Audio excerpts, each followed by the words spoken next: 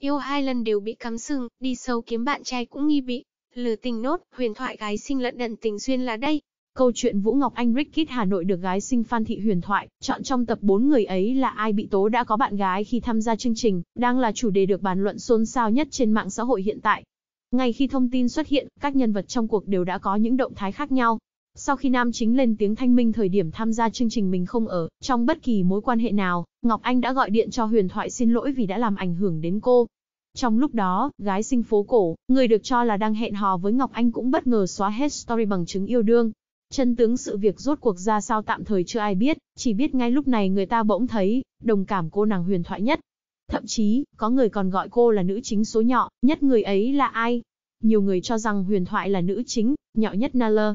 Nghĩ thì thấy cũng đúng, bạn ngẫm thử mà coi có ai xui như huyền thoại không? Được biết, cô nàng xinh đẹp này đã trải qua hai mối tình và đều bị phản bội. Với người thứ nhất, huyền thoại chọn cách giữ, người thứ hai thì chọn cách buông, thế nhưng cái kết cắm sừng chỉ có một.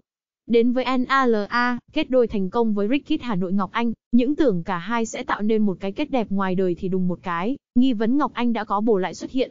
Yêu hai lần đều bị phản bội, tham gia chương trình thì bị lừa, nghe mà tức ghê. Sự nhọ của huyền thoại cũng khiến cư dân mạng thấy cảm thấy và để lại nhiều bình luận, sinh mà đường tình duyên chắc trở thế bạn ơi, yêu thì bị phản bội, tham gia sâu thì gặp ngay nam chính nghi vấn, thấy cũng tội mà sao vẫn thấy hơi buồn cười, thương cô gái quá. Thế mới biết, xinh đẹp lắm khi đi liền với gian chuân, hồng nhan bạc phận xưa nay vẫn là mệnh đế có lý ra phết. Nhấn nút subscribe để luôn nhận được những tin mới nhất.